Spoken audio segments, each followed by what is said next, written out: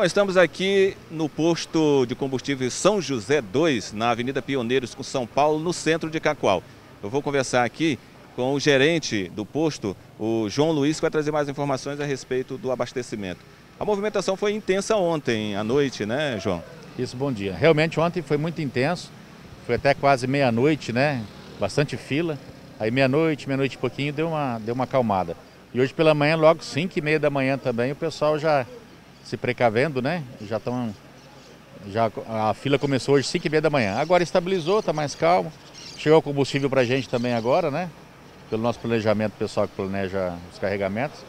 Aí chegou, chegou combustível para a gente hoje cedo também, então hoje deve, ser norm, deve estar normalizado para a gente, tranquilo hoje, né? Como, como você falou, a gente vê que você está recebendo um reabastecimento. É, com esse reabastecimento, num movimento normal, é, essa, essa, esse combustível ele dura quantos dias? Para esse abastecimento duraria quatro dias, né? Três a quatro dias, né? Agora, se ficar intenso, a gente, a gente não sabe se dará, dará para dois dias, um dia ou três, né? A gente não.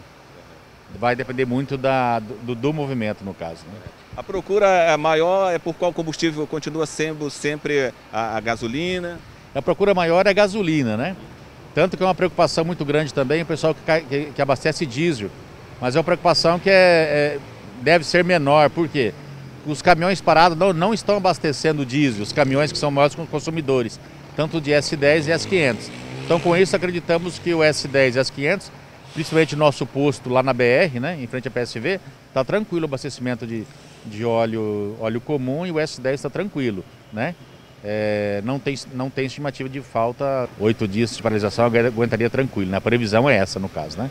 Então conversamos com o João Luiz, né? o João Luiz que é gerente aqui do posto São José 2, como eu falei, aqui na Avenida Pioneiros com São Paulo, no centro de Cacoal. E de acordo com informações, como ele disse, é, o abastecimento está tranquilo, apesar do movimento ter sido intenso ontem à noite e hoje pela, ontem à noite e hoje pela manhã, mas até o momento as coisas estão é, tranquilas aqui com relação a combustíveis no município de Cacoal. Com imagens de Flávio Júnior, Edu Félix, para o jornalismo da TV Suruí.